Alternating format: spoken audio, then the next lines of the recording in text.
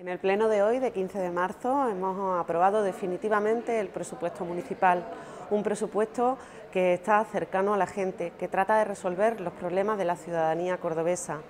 trata de atender esencialmente a las personas que más lo necesitan, por eso hemos ampliado la ayuda de emergencia, que se cuadruplica, pero atendemos también a los menores, a su educación, a la salud, con un plan municipal de salud que por primera vez se, pone, se va a llevar a cabo.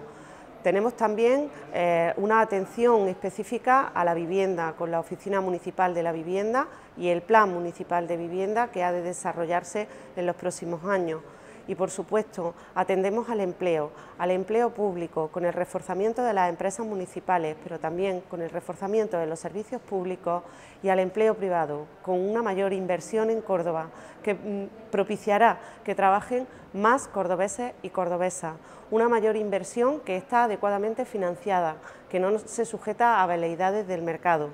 Por eso creemos que estos son los presupuestos más sociales, los más solidarios y los más efectivos que necesita Córdoba. También en este pleno hemos tenido que ver con otra parte del presupuesto, que son las tasas. Había una propuesta del Partido Popular de bonificar el impuesto de plusvalía con carácter generalizado. No creemos que pueda existir la gratuidad para todos. No creemos que debamos abusar de esa bonificación del sistema impositivo que es en definitiva el que nos trae adecuados servicios públicos. Los impuestos sirven para financiar esos servicios públicos para la gente que más lo necesita. Seguimos avanzando en la mayor progresividad pero precisamente en un impuesto como el de donaciones, que solo paga una pequeña parte de la población, que no pagan las familias más empobrecidas, que